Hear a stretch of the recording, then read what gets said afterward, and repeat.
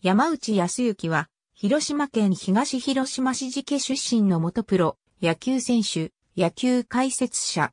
尾道商業高校では3年春の中国大会で優勝。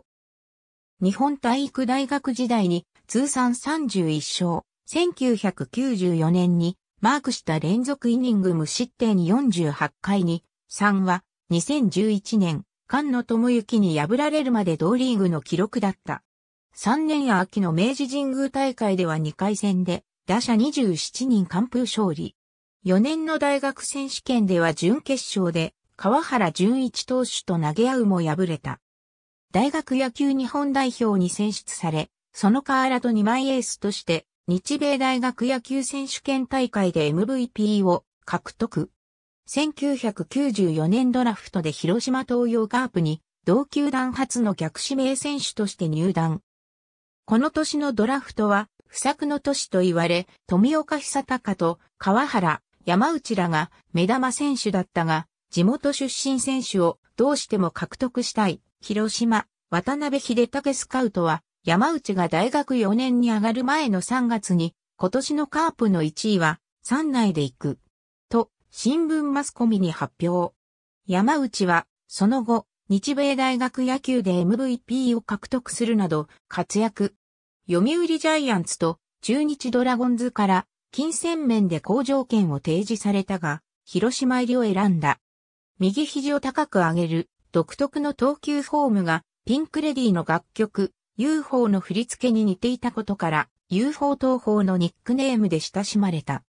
1995年は初登板で初先発初勝利を挙げると5月には4勝で月間 MVP を獲得。オールスターゲームにも出場した。広島の新人として初登板初勝利を挙げた選手は当時史上4人目であった。2014年現在9人が記録している。この年は14勝を挙げて新人王に選ばれた。1996年も2桁勝利を挙げて、翌年には開幕投手に抜擢されるなど活躍したが、1999年に右肘を手術。その後は中継ぎなどで登板したが、2002年シーズン終了後に29歳で引退した。2003年から2005年まで広島の三軍、投手コーチを務めた後、2006年から2009年まで二軍投手コーチを務めた。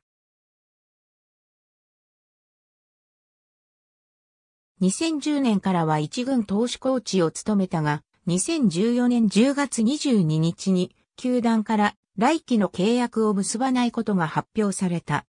2014年12月1日からは、テレビ新広島で野球解説者を務めている。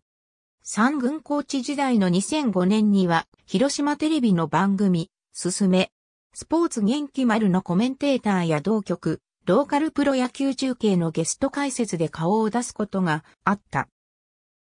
これは前年まで解説者として出演していた小林清はじめが中日ドラゴンズの投手コーチに就任し、入れ替わりで読売ジャイアンツ投手コーチ辞任に伴い同局の解説者に復帰した池谷幸次郎は日本テレビ系列の全国中継も担当することから進め、スポーツ元気丸に出演できない場合があるために、広島の行為もあり、三軍コーチのため通常ベンチ入りしない山内が抜擢されたものと思われる。なお、ローカル中継については、解説者起用にあたり日本テレビが、広島テレビとの調整を図ったため、池谷がすべて出演していた。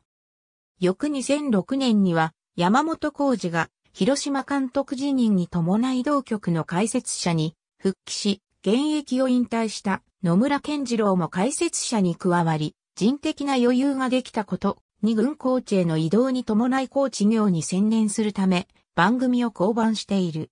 2014年12月1日、TSS テレビ新広島と解説者として契約。同日の TSS スーパーニュースにも出演している。2015年度からは全力応援スポーツラバーズのコメンテーターも務める。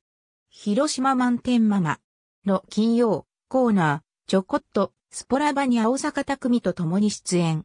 2016年の日本シリーズではフジテレビ制作の第2戦中継でグラウンド解説として出演した。これが、フジテレビ系列地上波全国中継への初出演となった。2016年から広島県広報番組、広島県民テレビと広島県ウェブ限定番組、広島県民スクールに出演。近年は JA 共済広島の CM にも出演している。ありがとうございます。